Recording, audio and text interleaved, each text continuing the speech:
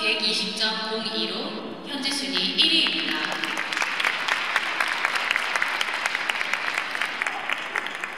다음 출전 선수를 소개하겠습니다. Next skaters, Yurami and Alexander again.